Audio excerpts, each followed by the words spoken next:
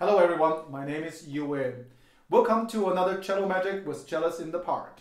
In this episode, I'm going to share with you three simple tips to help you to play more in tune and make more cello magic. Stay tuned.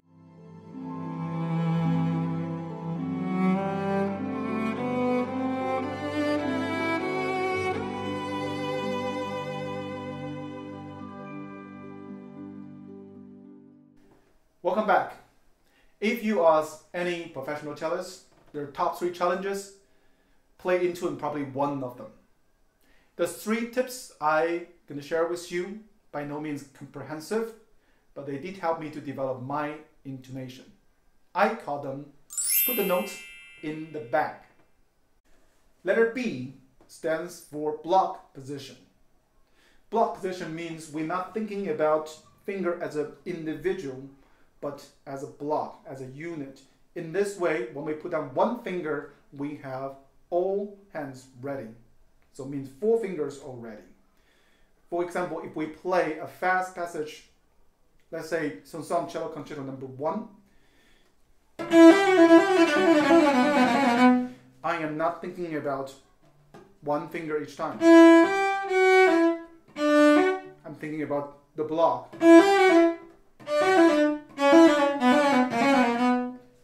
Way, it's much easier to play fast and play clear and play in tune. Even in the uh, slow passage like the beginning of the, the Dvorak, second movement,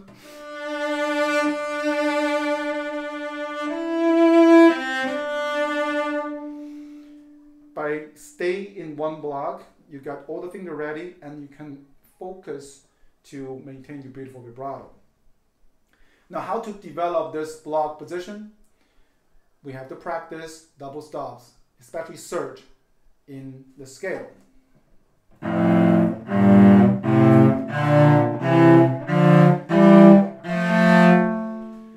It is not the most enjoyable thing in the world to do, but it is a great exercise to develop this hand position and this block feeling of the hand.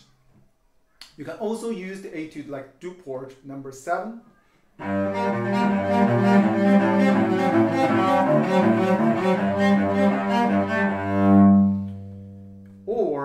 Piatti number seven from the, um, the Caprice.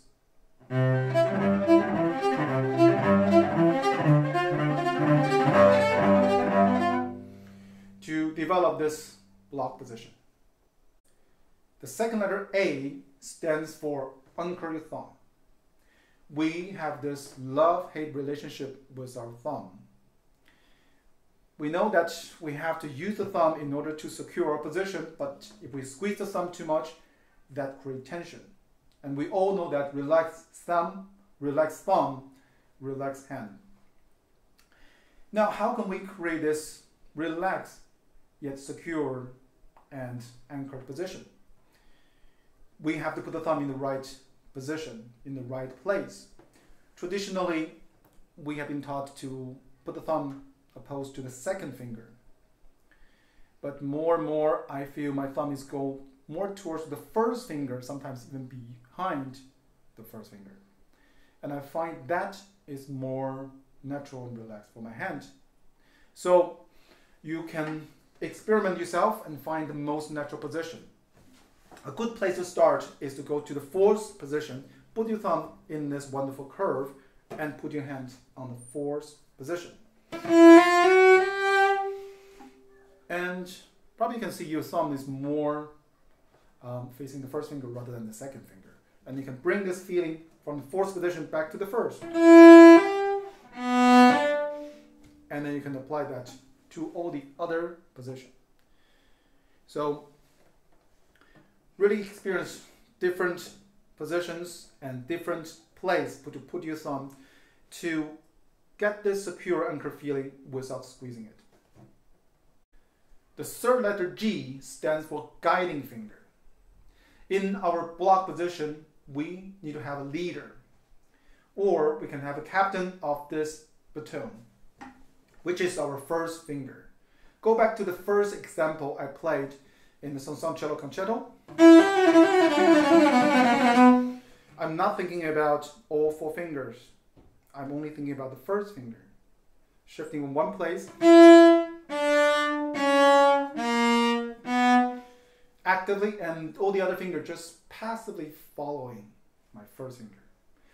When we talk about intonation, half of the battle is shifting. We'll cover this topic in our future episode. Now it's just a little bit teaser for you. When we shifting to a new position, thinking about the guiding finger. Like from here.